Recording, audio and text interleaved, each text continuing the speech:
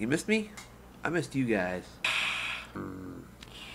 I haven't been doing much of anything productive lately, and I feel kind of bad about that. Not bad enough to actually change my ways, of course. I've been doing a lot of bike riding and not enough blogging. I do have a full time job, but that's not a good excuse for anything. Do you hear that? It's raining outside. Fucking raining. When the fuck did this happen?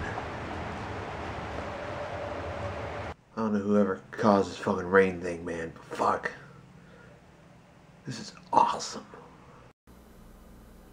I was gonna say something else, I don't know what. I'm just gonna keep recording until I think I got something that doesn't suck balls. I just started a new job.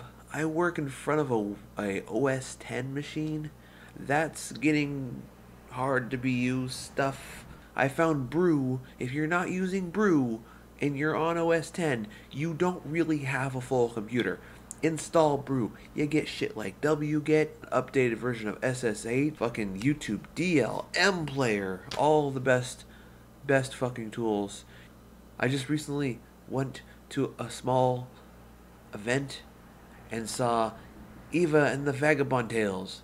If you have not heard them yet, click on the link below and listen to them because they are good and they're good people. They're very nice people. They shared a beer with me and they were not mean. And that means a lot.